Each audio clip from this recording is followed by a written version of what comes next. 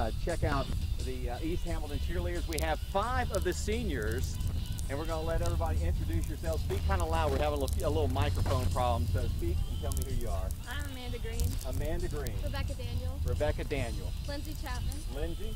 Shauna Crawford. And Tiffany Reed. All right. Now we're going to go one by one, and um, what is it like to be a senior cheerleader for East Hamilton?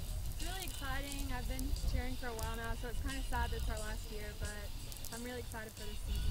Now cheerleaders sometimes have pre-game meals. Is there something special that you eat? I usually just eat chicken. Just chicken before every game. Is that good luck? Yes, chicken and fries. Wrong. Okay. What was the first thing you thought of when you woke up this morning thinking about tonight's game?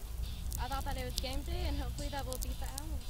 And y'all had a big pep rally? Yeah, we did. We got a little routine that we did, and everybody seemed to like it. So And lastly, what was the first thing you thought about this morning? it's game day. Game day. Are y'all ready for the game? Yeah. All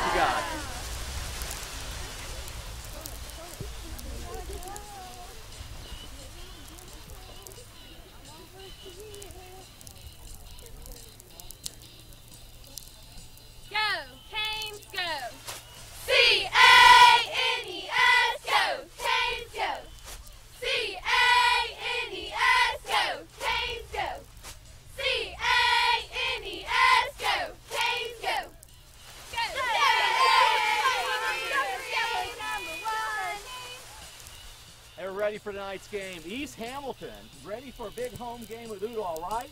Yeah.